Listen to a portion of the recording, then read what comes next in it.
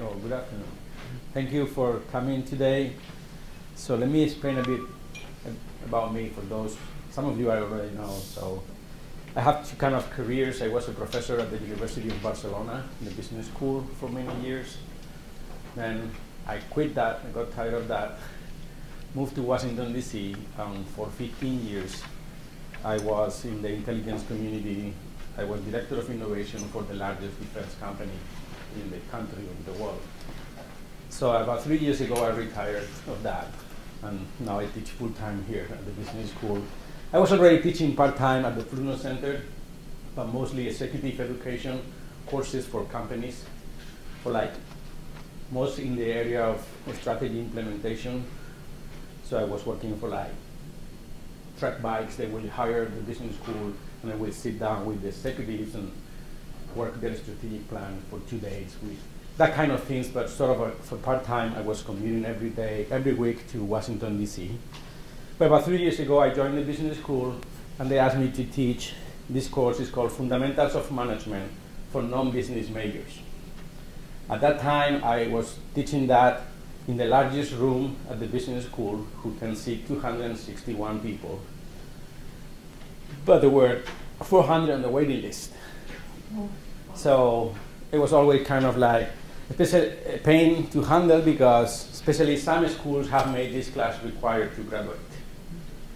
So you are a dietitian, you have to take this class to graduate. So there are some schools who are beginning, and the problem was we were having people who could not enroll and they could not graduate. And it became sort of like a logistic problem among deans, so I wasn't involved in that. So we decided, well, what can we do? So obviously came the idea of let's do this class online. So we are now fully online. This is the this is the fourth semester I'm teaching this fully online. So I spent about a year and a half working with instructional designer Mark Nuffield. I don't know those of you who know, because we decided that we didn't want to just try to translate what we were doing face to face, just try to put it online. So we wanted to take advantage of redefine the whole thing, start from scratch. So it took about a year and a half to, to do that. But we went really, really deep in like from the learning outcomes, from the big ideas. But also we wanted to do in a way that it wasn't just the standard online course. So I decided to, all my lectures are podcasts. Everything has been recorded, my voice, no video, and has been produced in the studio and edited. So there's music, sound effects, interviews. So we decided that to give it a try to that idea, how that will work. So every week there are two or three podcasts that I recorded, and then a number of exercises, quite a bit. There is about, the students have to submit between two and three assignments per week. So that represented some logistic issues, especially now the enrollment is every semester anytime between three and 400 students. We do this now every semester, spring, summer, and fall. So how can you do that? So what I, I mean, first I have five TAs that, I mean, are helping with the grading. Plus, we wanted to come up with something that was how can you provide meaningful feedback to 400 students every week? So how do you balance individual attention with a scale? So we went with the idea of rubrics, very elaborated rubrics, which was a pain in the butt to create, I have to say, because I have about 45 assi assignments in the semester. So I created a single rubric custom made for that assignment. So it took a while, but those are the things that pay off now, right? Because that also helped me with my TAs to kind of like reduce, I wouldn't say eliminate, but reduce some level of subjectivity when grading. So the, the, the rubrics are very specific. The students get the rubric beforehand. They get the rubric they do the assignment and the TA is great on the rubric. And those of you who are familiar with Moodle or Canvas, you know that we click on the rubric, change colors, we calculate the grades, plus we provide feedback. We also encourage, and I, I don't know how much you want to see all of this. You, you, you can interrupt me anytime. More than going into any particular thing, I'm giving an overview of how I'm doing this. And if you want to see, oh, how do you do this, just let me know. So we use the rubrics first to provide meaningful feedback given the scale, but also to reduce some subjectivity. So I do some exercises with the TAs that I call calibration. So we do a few assignments, they grade with the same rubric, we sit down and talk about it to make sure that more or less we are within the same range when it comes to. So we also encourage the students, many of the assignments the students have to record themselves. Instead of writing, they have to record an audio segment. And we use Canvas. You can only use Canvas. We try to stay away from files in different formats. The everything has to be in the Canvas framework. Because we didn't want to having to download these files in MP4, these files in FLV, these files in QuickTime. No, no, no. We have to, when you have this number of students, you have to be very kind of like stay to the framework. And that has worked really well. Students were are kind of the first few weeks kind of surprised because they are used to write things, not to record. And we also have improved the rubrics as we move along every week. The rubrics get more detailed. And they really enjoy it. At the end of the semester, we give them back their first recording and the last one, and they can see how, how they have improved, not only in terms of the content of the course, but their talk, their speech, how they present things, because it's not just how much they know. In fact, that's, that's my, one of the reasons why they hired me probably at the business school was, I mean, I've been in academia, but also I've been in the real world, and I hired the company I was working for, we are 40,000 employees, and I have 3,000 people that reported to me. So I, I have the privilege of the bad luck of hiding and fighting a lot of people. And one of the things that I always say is that it's not how much you know. I've had a lot of people who have a 4 GPA, but they are unable to talk in public, to make a presentation to, to the board, to explain an issue and come out with an idea. So how, how do you balance all those things? Especially for this class, which is fundamentals of management for people who are not at the business school, that also represented a challenge because I have sophomore, junior, senior, master, and PhD students in this class. All the background, people from fashion design, which I didn't even know that UW offers that, but it does. You have fashion designers to nuclear engineers. You have a whole spectrum. It's how do you provide a course that is meaningful to everybody, that can be managed online, and that at the same time is still have some is still a three credit course from the business school. So this class requires about 10 to 12 hours a week of work. And when I said that to the students, I said, this is not a joke. In fact, the first week, I usually, about 100 people drop the class. Once they see what is coming, they get scared and they drop it. Go ahead. So, um, how, how do the students, do you see a lag? Like at first they kind of not really participate in the online course and then they start going, okay, I gotta take this seriously and then they start doing more? Yeah, what, what, what tends to happen, and I can show you, is like the first week, people think this is an online class, so I don't log in. First week goes by, I will catch up later, and when they log in the first time, they already they have already missed six assignments that were due last week. And then a lot of people get scared and drop the class. Because there's an assignments every week from the first week. And there's deadlines, and if you miss the deadline by one minute, I don't care. This is like real business. Well, I worked really hard on this assignment, but I forgot to submit here you get a zero. If you work with me, you will be fired. You go to the airport one minute late, you can cry wherever you want, but you don't get into that plane. So I, the students have two weeks to do the assignments. If you wait until 11.56, the deadline is 11.55, and there's a reason for that, it's not midnight. Because I don't use midnights or noons, because people get all kinds of confusions. Mm-hmm. So everything is 11.55. So it's 11.55 p.m. So there is, if you are submit at 11.56, Canvas will say it's late. So I say, you have two weeks to do this. If you wait till 11.50, you are late, I'm sorry. If at 11.50 the internet in your apartment building is gone, I'm sorry. If your hard drive crashed, I'm sorry. That's why you have Google Drive, you have Box, you can have real iCloud or cloud real-time backups. So I put the, the, the layout of the field is the first day to the point that they have to do a quiz of the syllabus. They have to get 100% right before they can move forward. And in that syllabus, it says, you are minute, one minute late, you get 50% penalty, true or false. So they have to say true. So they, they, they cannot come back later, oh, I didn't know. No.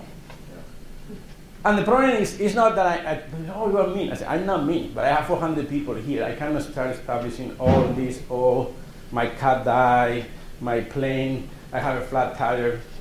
This not, you have to, one of the principles of this class is not only how much you know, you have to know how to manage your time, know your commitments, plan ahead, organize yourself. So that's one of the principles that is around this class. And, and not only I say, I apply. And some people get really scared. I mean, by, this, by, the, by the first week of the semester, there were about 473 people enrolled in this class. About 100 people have already dropped. But some of them drop because they get scared that they still need this class to graduate, so they may come back later. But again, it's also a way of how do you manage this number of people? This is an online class, I don't see them. So it's not like you show up twice a week for an hour and 15 minutes, kind of try to stay awake, and it will go by. I tell them this class, you are, this class relies on you. You have to do a lot of the work. I'm here to help. But this is an online class, and this is what this means. And more and more, the belief that if it's online, it's watered down, is disappearing. Still, some people think, oh, if it's online, it must be easier. I, I would say that that's kind of disappearing, mm-hmm. but still, some people think that. So this is this is a regular three credit class. So it requires what is supposed to be the, the same amount of work. Can can I see an example of, of, of your feedback? I'm truly curious about how extensive is the feedback? How we send it back? So what, what happens is the students, so every, the course is divided in modules, and all, all the models have the same structure. So the models have at the beginning what is the model about, what are the objectives of the model? Then they have the podcast. Then they have readings, videos, and, and the assignments. So it's always the same structure. Every week has my podcast, videos, readings, and assignments. In this case, there were three assignments for, this was the, the first week of the semester, right? So, for example, and I divided the assignments in two kinds of assignments. What, what we call major assignments, which is not one every week, maybe every other week, and what we call standard assignments. So the standard assignments, they can drop four. I always say, we all have busy life. If one week you you have another exam, you have a commitment, you can drop up to four assignments. I will not care which ones. Is that, that you manage that. So, for example, this is the first this is the first assignment of the whole semester. So the rubric is very simple. This requires them to record uh, two three minute limit audio recording and this is the rubric. They get the rubric in advance.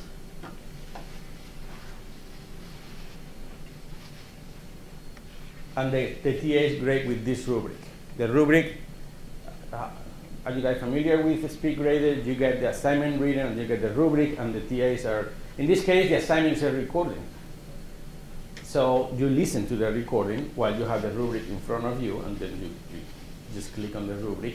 And sometimes we write a sentence next to, you can write a feedback for the whole assignment at the bottom in the SpeedGrader, or you can write feedback for each of these line criteria.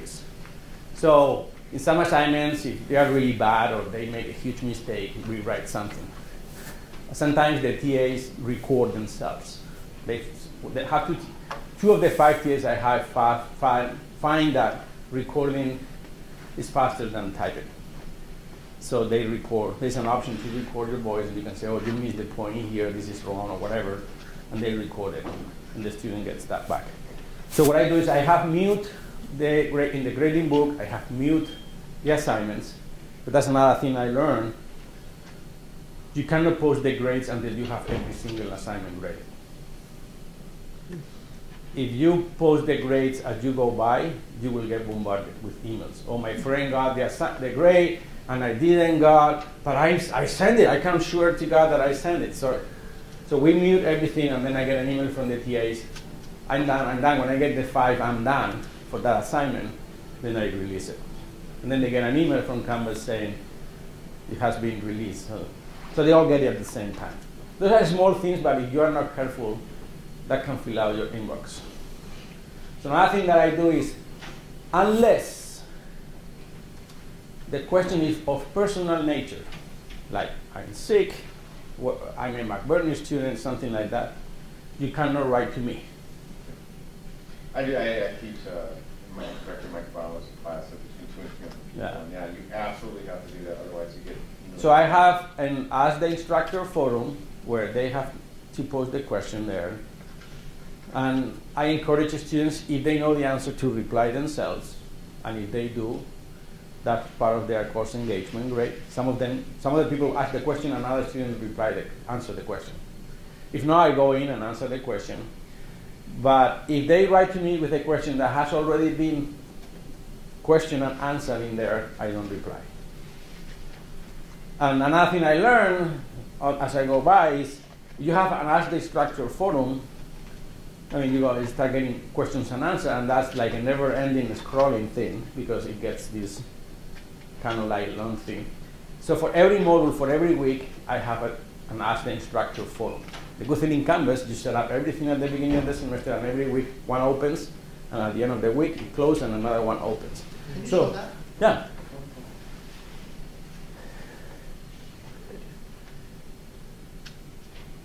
So you go here to the, discuss, uh, the Ask Instructor forum.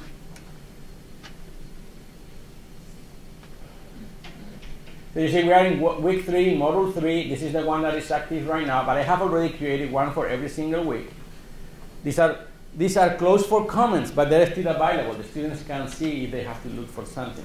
But for week three, there's now this current one at the top here. So this is the one. And you see, for example, Week four is this one here, not available until February 4th, because that's when this module starts. So on, on, February 3rd at midnight, that week three closes, becomes available for them, but they cannot add things there. And then this new one opens. So, so that way you don't have a, like an ever-ending, you have to be scrolling for questions. So every week we open a new one. You see for the, the first model, the first week I have 40 entries. Second week, 36. So that becomes a very long thing. Can so you click on? I'd like to see what that looks like. Yeah. I've never seen. it.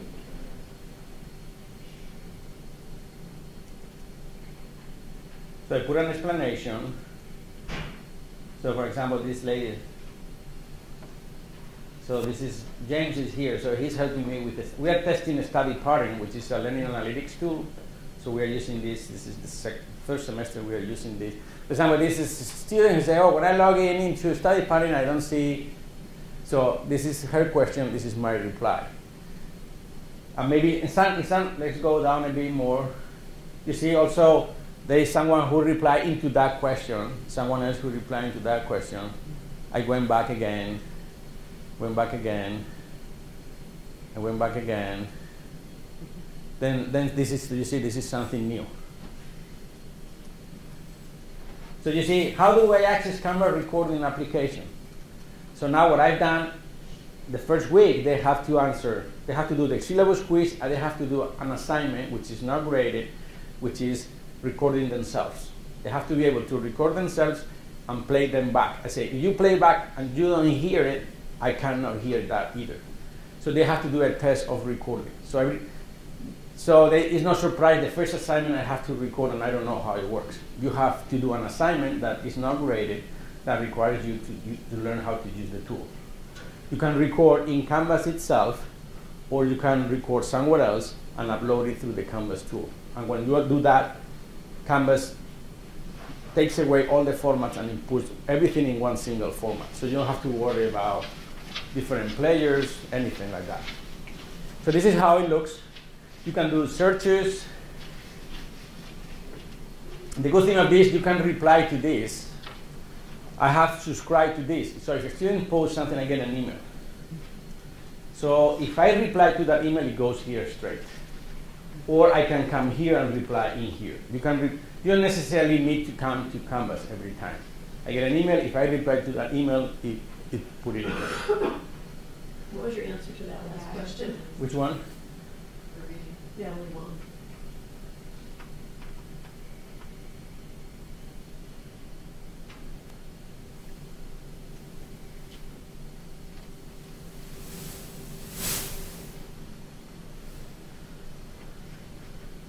Yeah, because there's another class called General Business 310, which is Fundamentals of Finance and Accounting. That Mark LaPlante teaches that. And he, we are friends, but we have very different styles. So he has every every lecture he has he has every week like two or three hours of video. I'm not kidding. Very good videos. But I use some of them. But he only does exams, like multiple choice exams. And I do I do a couple of exams, very low stakes, 10% of the grade. The rest is the assignments, the weekly assignments. So I say it's not it's not only how much you know, but if you are constant. I don't care. This is not a class where you work two days before the exam and then you pass. You have to engage, be engaged uh, as we move along. So this is, this is how it looks. You see there's, a, there's all kinds of questions here. Usually I, you see for example, this person was saying, oh, how can I see the videos? And then someone down here replied, it's just podcast, there is no video. because when you, people are not familiar, but when you go to the start of the model here, you go to a model, they see this and they think that this must be video, but it's just audio. And the reason why we decided to do that is this is an online course. There's people who are overseas. There are people who are deployed. There are students who are in the army right now. So they, so there was some, but also there are people here who move around. They are all over the campus. Mm-hmm. So this you can play. You can listen in the bus. You can go running and listen to it. It's not something you have to be watching. And I did some tests about it. There's other people who have recorded videos. And unless the video has a lot of like graphics and things like that, I mean, you can listen to the video without watching it, and you don't miss anything. I noticed that you did these podcasts all in Kaltura, so you're all of these, Kaltura, but you're having your students yeah, respond. all of this is that when you click here, it, it goes to Kaltura. It's linked to Kaltura. The student, but the good thing of Canvas is the students log in here with their net ID, so they don't have to log in again. The, the credential are passed through. So everything is on Kaltura, the, the podcast. And for example, we even do this, rate this podcast, that goes back to the, to the Kaltura rating system. So I get that for everyone. And they get the transcript, but because the transcript, you have to put it by law. That- Have you had to, um, or have you chosen to, based on, have you had any like really low ratings that you're like, oh, I should go back and fix that, and you re-recorded based on that? No, we're, we haven't done that yet. We are, I mean, we did a bunch of recordings, and now we are doing new ones, and we may eliminate some of these. I mean, the, the podcast, you see, they're not very long 11 minutes, 9 minutes, 9 minutes. And in this session, there are three, but sometimes there's only two. It's not more than that. That's, that's sort of like the long. And again, it's not a lecture. I don't go and lecture. It's more, I tell a story, I do examples, I interview people, or and then they- have to ask, do link that with all the readings and the content. Again, the idea is not, this is not a cl- class where you just sit and listen very passively. Uh, They have to be engaged. And we provide, another thing that I do is I don't use a textbook. I, this is, everything in here is open source. For the textbooks, I use open source resources from the University of Minnesota. The textbooks that are there, they are great. Students can I link to the chapter that they can download the PDF, they can download the MOBI file for their Kindles, they can download the EPUB file for their iPads. So everything, they, students in this class don't have to spend any money for anything. And either they are things that I provide, articles that I provide, or I link to the library, or they are open textbooks from the University of Minnesota. So they don't have to buy anything. Or I use, for example, in this case, this is a video that I use from, from TED. The good thing of this is you link to the right place, you can get the, instead of getting those from YouTube, I link to the TED server, which has the real transcript. You cannot put a video, a required video that doesn't have a transcript. I mean, you can, but technically someone could complain. So that's something you have to be very careful. Another thing, when I use some resources that are not totally free, I have worked with the library, and they have managed to get authorization from the user, from the copyright holder to use it, either under the fair, fair usage policy, or we requested permission and they gave it to us. Usually they do. If it is not, because this class is not open, open. Is, you have to be enrolling, so you mm-hmm. have to go through a net ID. And so some, some I use, for example, this Origin of Wealth, chapter one. This is from a real book from a Harvard guy. I talked to him. He said, yeah, sure, you can use it. So he gave me the PDF from that chapter, and I put it in there. And what I do is instead of putting things, the things that are files, they are not really in Canvas. I put it in Box, and then I link to Box. That, the, the, good thing of that is if you need to make a change in the file, you make the change in Box, but you don't have to touch anything here. You don't have to touch links, update anything. You just update your Box, and everything here remains the same. So that saves some time. Is this so? This is all one page. This is all one page. And so they just open up to the day or the course period, mm -hmm. and they can see all of these things. Can you show us what this looks like? Did you have to Mark's magic to mess with the HTML to make this? I, I, I mess up a bit with the HTML because because I like it. to make it look pretty, like for example, my syllabus is pretty long, so I didn't want like to make a super long file, so I created these tabs so they can go to sections. So they can want to see the course schedule. So you get right away here the course schedule. It's a one single long page, but I use tabs in HTML. So you say grading information, you click there and it takes you to that portion of the page. But you don't have to go up and down with the scrolling. So it's just sort of a table of contents. Yeah, but it's, it's, it's all one page. Okay. This is in, this is in the same page as this. It's one single HTML page. And I'm happy to share the code if anyone. It's very easy. In fact, when you edit here, it's just a long page. It's like a single long page. You can, you can go here and make a correction, fix it and save again and that's it. So we just throw some HTML code in, inside so we can have these tabs, which makes it a bit easier. So everything, but everything is in one single page, and the same for the modules. This, all of this is one single page. And you can edit here and make changes right away. But this is just one single page with the readings, the videos, and assignments. Everything is one single page.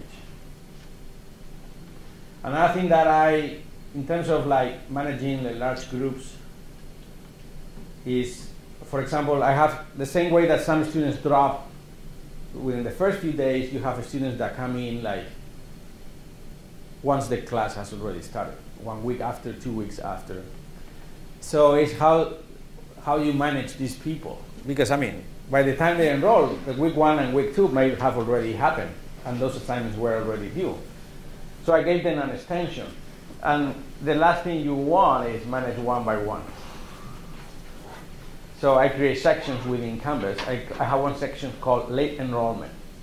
So for, for the first few weeks assignments, people who are in that section, they get an extension in Canvas. So when a student comes late, I just add that student to the section.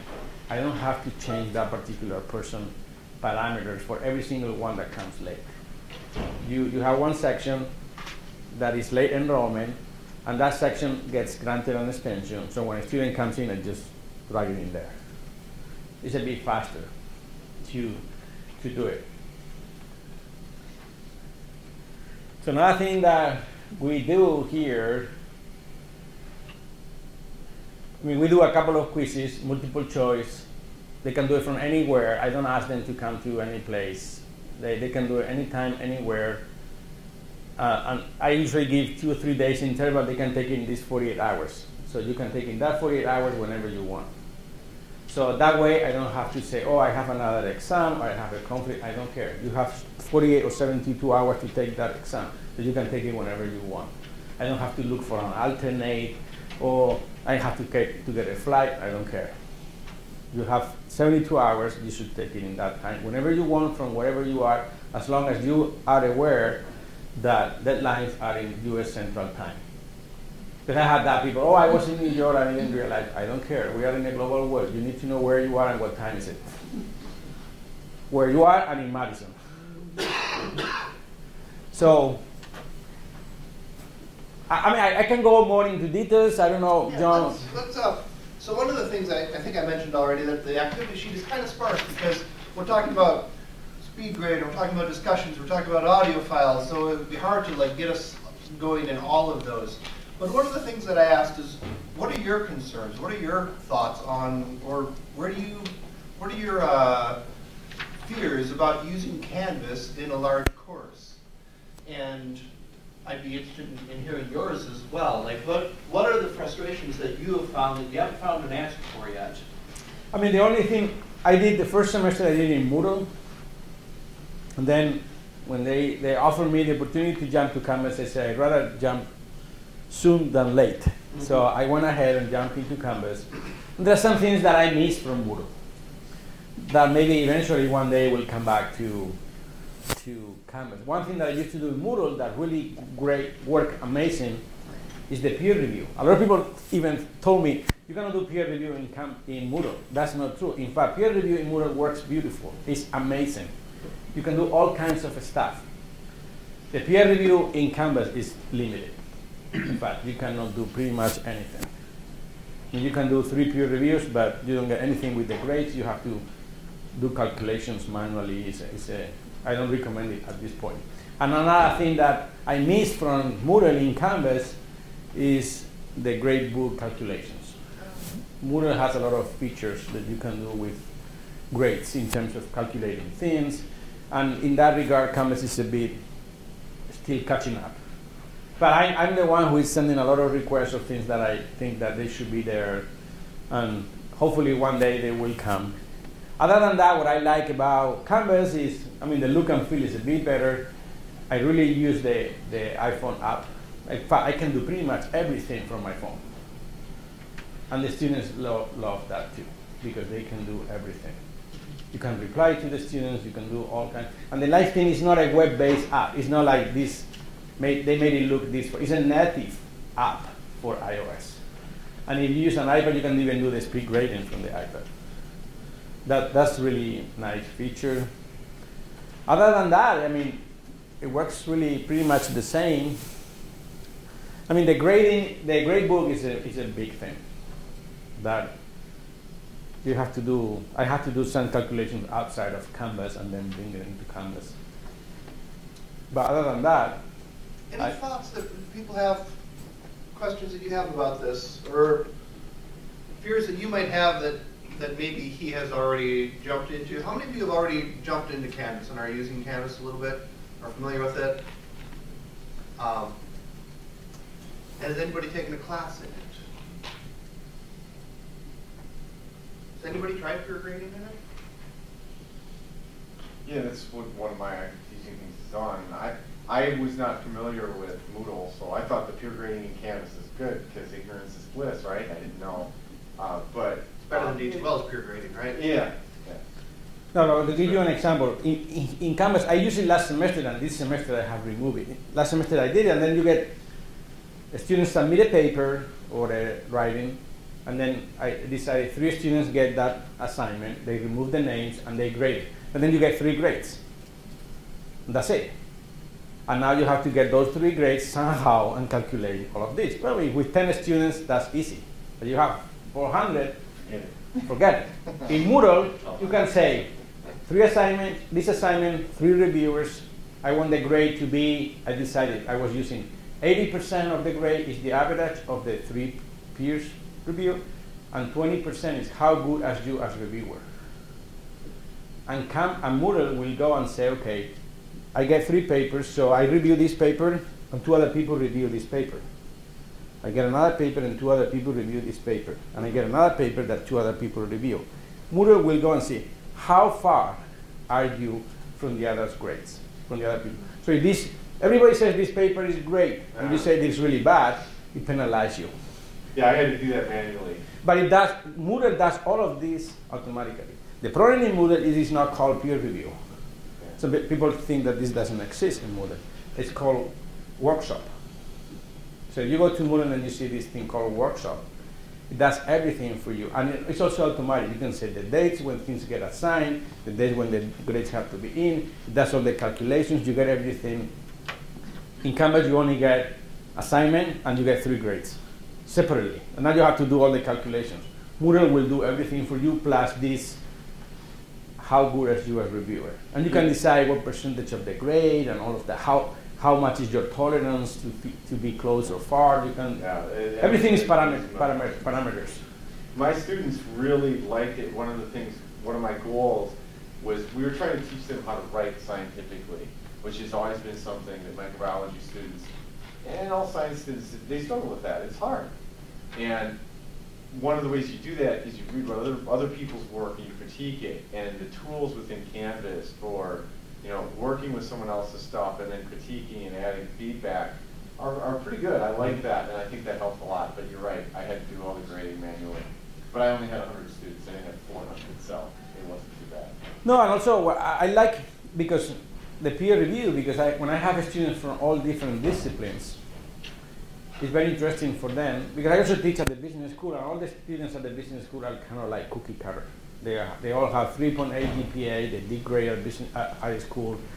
They all have this sort of like they have had the same background, they're all the same. And when you have students who are fashion designers and nuclear engineers and you put a problem, they realize that not everybody thinks like them. And then they start seeing other points of view that they never thought. And that's really great. And people really like that. But I have to wait to see if they improve it a bit in, in Canvas.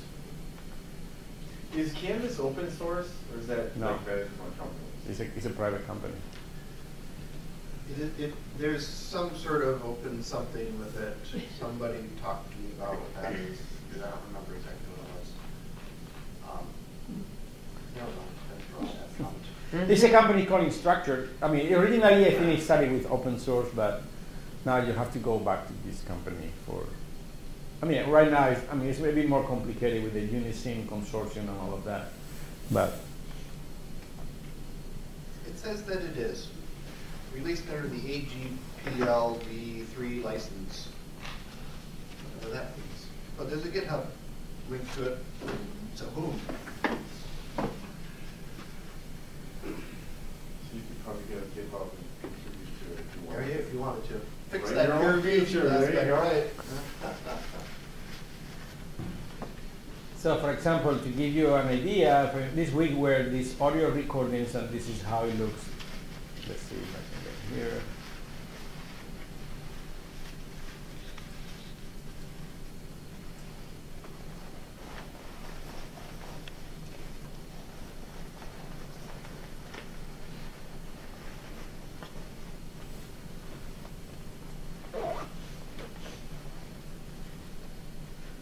So I think some, of my peers have already started working on this.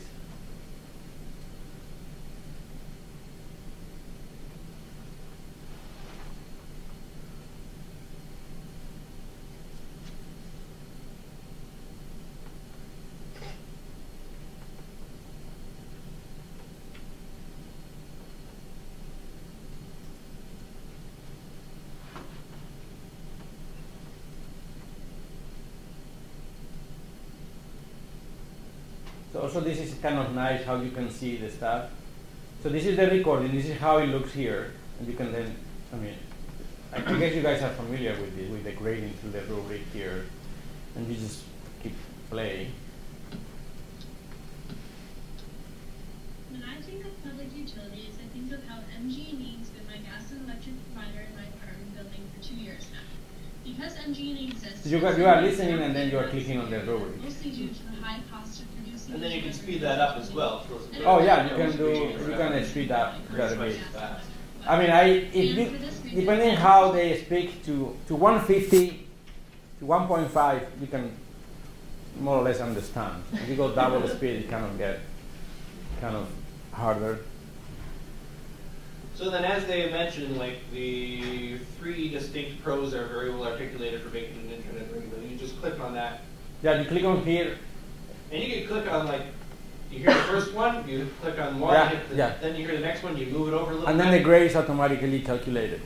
You don't have to do anything. And then you can write something here if you want, in terms of that, for that particular criteria, you want, you want to write some specific feedback, or you can write some generic feedback down here at the bottom.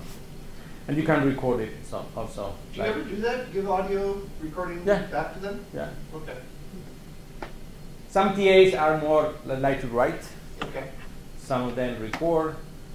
I mean, they have their own strategies because they have to grade about 60 assignments per week times three. So you have to grade about 180 things every week.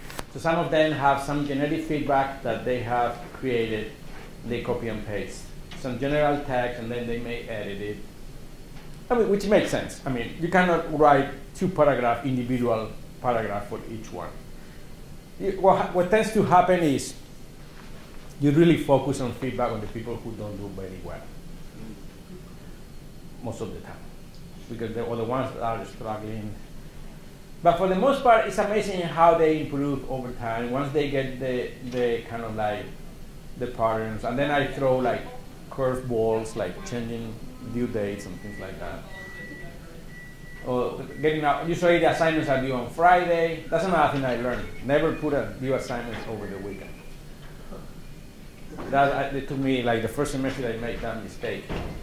So assignments are due on Friday. If you put assignments on Sunday, then you get bombarded on over the weekend with questions. So assignments are due on Friday night. So questions come before that. So I mean, when you have this number of students, you have to start kind of coming, sort of like giving marching orders. Otherwise, it's very hard to manage. Even though I, I pride myself on being very responsive, sometimes the students are amazed that they ask a question, and that's the good thing. Like you have the iPhone, you get a question and I reply right there. Some people say, "Oh, you reply me in, in one minute." I "Yeah, but I was in the bus and I have my phone with me." And then they go too much info. No, but some people are amazing that they, they ask a question thinking it might take two, or three days to get a reply, and they get a reply right away. And that's another thing I use. I my, in my syllabus, I say, if you, you you write to me with an email address that is not a Wisc edu email address, I will not reply. That goes away. I don't read Hotmail, Yahoo, Gmail accounts. In fact, you should you should do the same because of legal reasons. You could get in really big trouble if a student write to you in an email address and you reply back to that. But that's another story. so they have to use their Wisc edu email address no matter what. I don't. For all purposes, they have to use that. And that- When you communicate to the entire class, do you use the faculty center's WiscList, or do you do? I only use Canvas. In fact, let me explain this. That's also something I learned on the way. I only use the class list for the first email in the semester. After that, I only use Canvas. And in my first email to the semester, which is a welcome letter, which is also posted here in my announcements, the first thing I tell them to do, and that's something that I hope they will fix.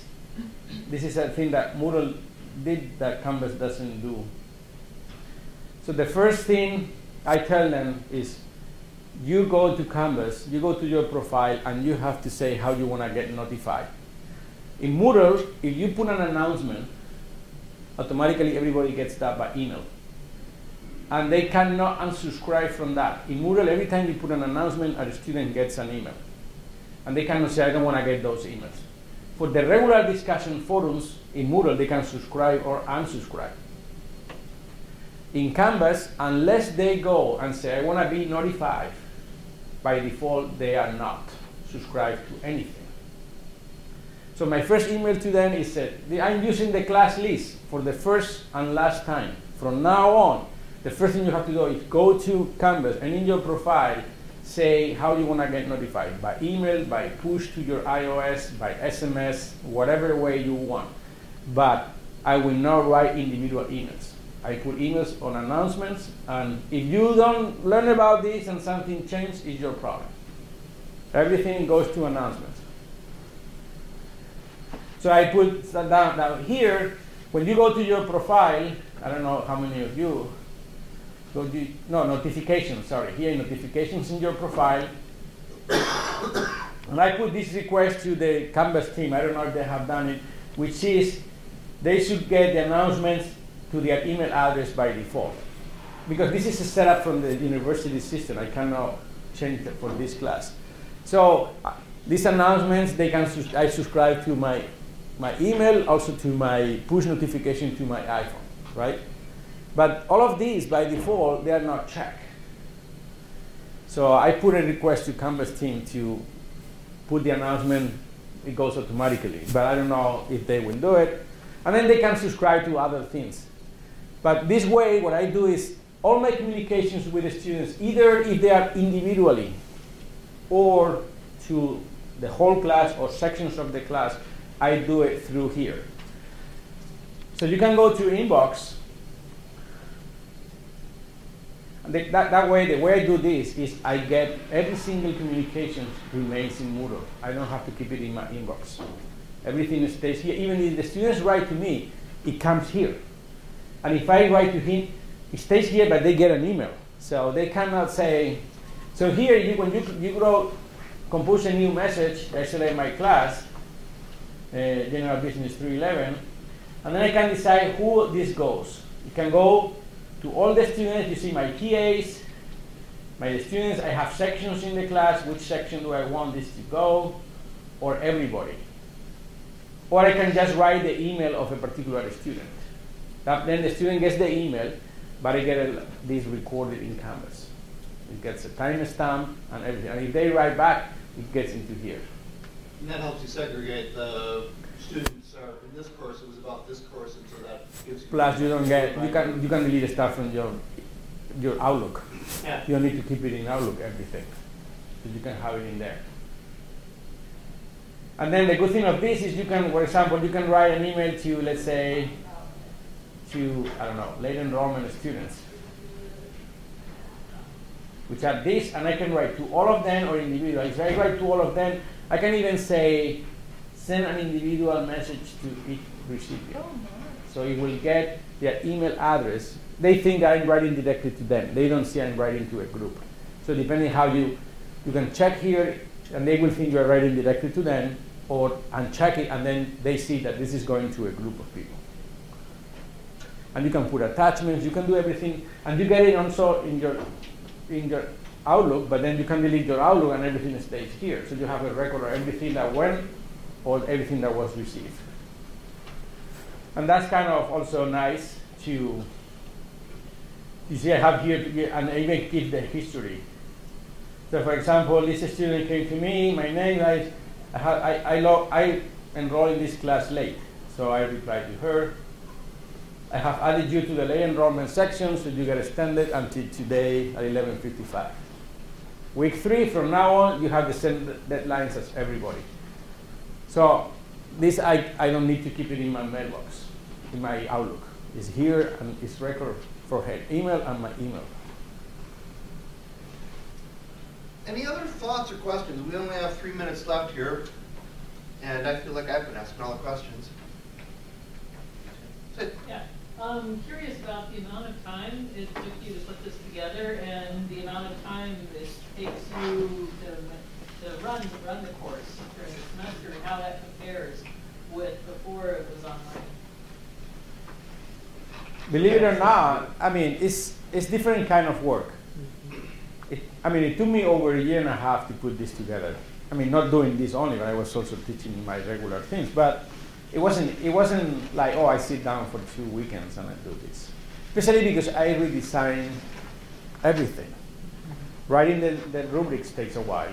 Doing the recordings takes a while. Because it's not just recording. I mean, you have to, they are, they are all stories. So the stories have an end and a story and a close. So everything has to close. It's not just open topics.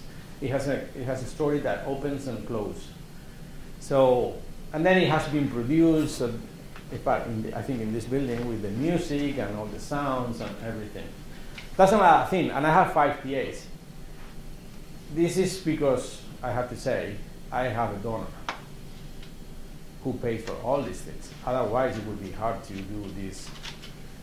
I have philanthropy money behind this. They put a, a recording. That's the key, right? Really, the whole. No, no. I mean, I think more, mostly, mostly because I mean, each TA in the business school, these are MBA students, so they get free tuition, stipend, and insurance. And the tuition only is fifty thousand dollars a year for the MBA students. So if you, how do you pay five TAs in a class? I mean, many schools don't, have, don't cannot do that. And I can do it because there is someone who, who writes a check and is a donor from the university. He thinks this class should be taken by everybody. So the recording studio, he paid for a recording studio in my office. So I can record in my office. I have a mobile recording studio I can carry but it, it looks like a lot, but it, we're talking about $800. I mean, it's not like it's a lot. But, and then I have, for one year and a half, I have an instructional designer that works with me. That also was paid from that. I mean, one thing is you can get an instructional designer for two sessions, another thing is getting someone who works for you half of the week for a year and a half, who helps you with the assignment, who helps you to Mostly than anything, he was helping me, asking me hard questions. Why are you doing this? Why are you doing that? Like, for example, things that I never saw here. I mean, it took me a while to come out. For example, if you go here, it, it, might sound trivial, but those of us who have been teaching for a while now, we get into habits, right? So, for example, this, uh, this assignment, this module has four learning outcomes, right? So, Let me see where I can show you an example here. Each, each module has learning outcomes, and each learning and each uh, module has assignments. So there is no an assignment that is not linked to a learning outcome. And there, is, there are no learning outcomes that don't have assignments. So there is no busy work here. Everything has a purpose. And it sounds trivial, but it took me a while to do that. Because people say, oh, why are you doing teaching this? You don't have anything related to this in the assignment. Yeah, but I've been teaching this for the last 10 years. This is how I, I always done this. Yeah, but it, it's not linked to the learning outcomes. So it's very, it took me a while to decide that I didn't need that much stuff. It wasn't a matter of teaching a lot, but teaching the right things. So uh, when you have someone who keeps pushing you every week, why are you doing this? For everything I tried to do, he was asking me, why, why, why?